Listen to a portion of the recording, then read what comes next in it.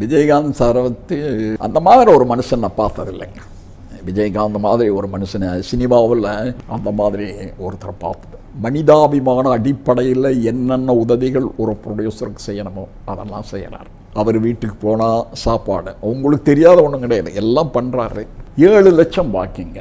ஏழு லட்சம் பாக்கி. இப்ராஹிம் ராவத்தர் சொன்னேன் சார் உழைத்து வாழ வேண்டிய படம் எதிர்பார்த்த அளவுக்கு வசூல் வரல.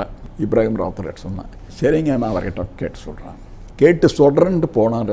இவர் வந்து வைரம்னா யார்? நம்ம கேப்டன் இப்ராஹிம் ராவித்தர் தங்கம். திரும்பி வரவே இல்லை. அப்போ திரும்பி வரவே இல்லைன்னா அவர் ஒத்துட்டாருன்னு தான் அர்த்தங்க. அது மாதிரி அவருக்கு என்னைக்குமே நான் நன்றி கடன் பட்டிருக்கிறேன் சார்.